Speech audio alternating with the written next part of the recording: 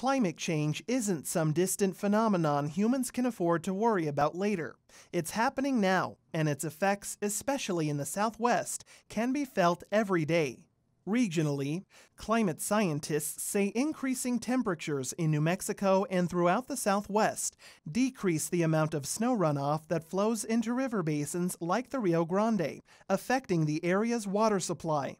NMSU Plant and Environmental Sciences professor and state climatologist Dr. Dave Dubois says less snow at higher elevations has serious implications for managing water resources. At least in southern New Mexico, we rely on the surface water coming from Colorado coming down, and we like it to melt at a certain time and then fill our reservoirs from, you know, from all the way from Colorado all the way down to Elephant Butte and Caballo. And climate change is actually changing the way that happens. And it's actually less water coming down. So it's not only the timing, but also the amount of water is, is decreasing. University of Arizona Associate Professor Dr. Greg Garfin studies climate, natural resources, and policy, and recently visited New Mexico State University to speak at a climate change seminar series. Garfin says along with reduced snowpack, climate change decreases soil moisture and increases the number of wildfires. So, one of the things we've seen uh, throughout the Southwest and in New Mexico as well is because we have a longer snow free season and because we have higher temperatures, we um, have experienced a longer fire season, fuels dry out more, and all it takes is an ignition. We can have some very devastating fires. So we've seen much larger fires in the last decade or so than we've seen previously in history. A federal study states the number of large forest fires in the western U.S. and Alaska has increased since the early 1980s and is projected to rise even more with climate change.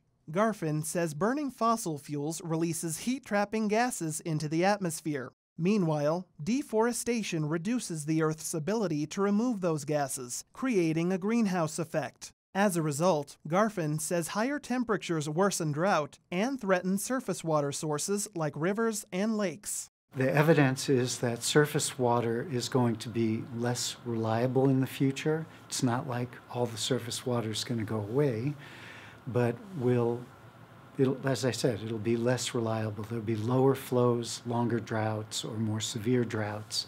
Data from the fourth National Climate Assessment shows global average annual temperatures have increased 1 degree Celsius from 1901 to 2016.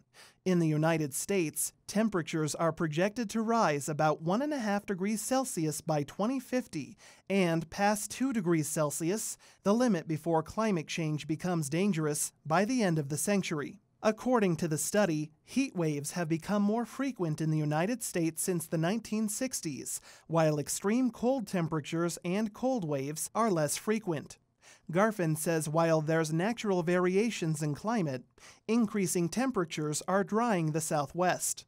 Naturally, climate change affects more than humans.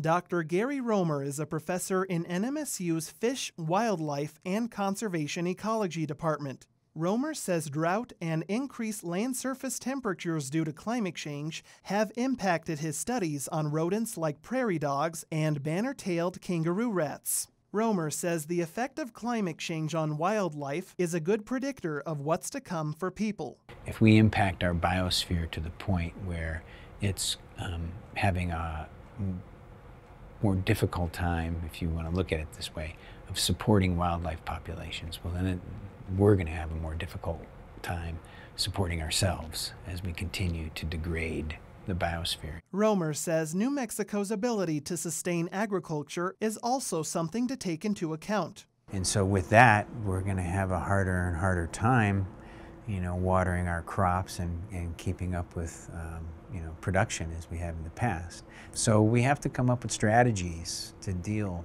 with the potential for these types of long-term droughts and extreme temperatures. Garfin says there are many ways people can reduce their carbon footprints now, like installing renewable energy sources in their homes and switching to cleaner modes of transportation. Dubois says it's not too late for people to take action to reduce their environmental impact. The damage has already been done, but it could get worse. and we don't want that to happen. We want to keep it at a certain level, and then we can deal with it.